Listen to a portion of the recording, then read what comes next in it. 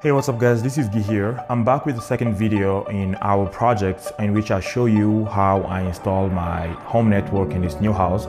So today, the second part. I know it's been a while since I published the first video, so I've been all over the place these days, but I found some time now to give you the details on this second step in this project. So this is where I'm going to change this bunch of cables into this looking very professional, very good, very clean. And all I did is install this um, 9U rack and also the patch panel. So I'm sharing this because some of you are trying to be network professionals or some of you are just curious about what's happening out there. But me as a professional, I stand here and I share with you these small things that you can learn and hopefully make money out of it or just you know some people can build a business out of these things. And it's to me a pleasure to share these kind of things. And if you like what i'm doing please don't forget to like this video so it's going to be shared with many people and also don't forget to subscribe if you are a tech guy, if you like what I do, if you want to be an engineer, or if you are an engineer. On this channel, KB Trainings, I bring you in my world and I show you most of my projects. If you're studying for the CCNA right now, I have my course on the CCNA on kbtrainings.com forward slash CCNA. If you are interested, go there and we're going to study a lot of things. So this is the second part. As I said, I've already finished that second step and I'm going to talk about what I did, what I needed, and what I used. Before starting everything, I had to move my current equipment. So I connected the Quasar cable to the Quasar cable that's attached to my office. And that's where I put my equipment. That's where they are right now. The, the signal is good because it's, uh, you know, on the, on the main floor. And that's what I'm going to use until I have this project completely done and I can move things back to the way it should be normally. First equipment here is the rack. So right now I'm using the NavePoint 9U rack. Shout out to NavePoint, by the way. I tagged them on Instagram and they also tagged me back. It's a good product. It's very strong, very steady. And because some of the equipments I'm going to be using are very heavy and some of them are really not. But with this 9U rack, I'm really confident that it's going to do the job really well. It's also on the wall, looking good. And um, I just had time to put it together and also put it on the wall. So depending on the environment that you are in, you may need to get another type of rack that is covered if you have a lot of dust or anything like that.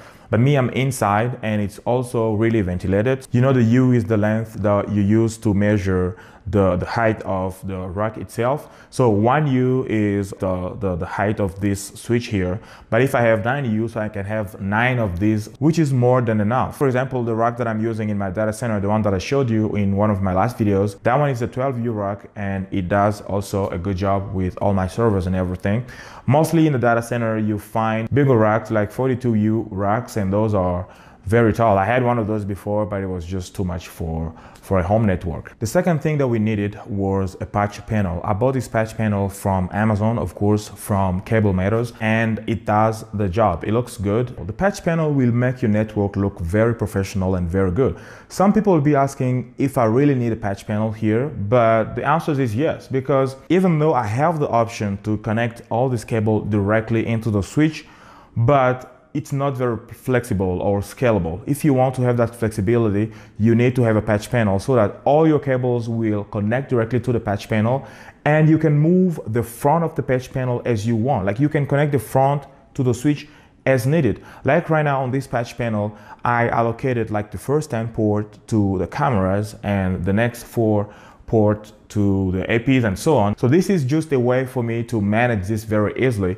And for the Ethernet wiring, I use the T568B. That one is very common um, on regular networks. The A is mostly for for the government or federal contracts or anything like that. But for houses, for regular networks, for businesses, you can go with the T568B. I also needed a wire punch down impact tool. That's what I used to connect all these cables to the patch panel. It was very easy to use and uh, all the connections were great. I was able to test this with another equipment, which is the cable tester. So after installing everything, I was able to test, or even I used the cable tester actually to find out what some other cables were, because even though after the installation, they put some labels on those, um, on those cables, I was still not able to find some of them. So I had to go around and connect my cable tester and also come back to the come back to the basement and connect the, at the other end of the cable tester to test continuity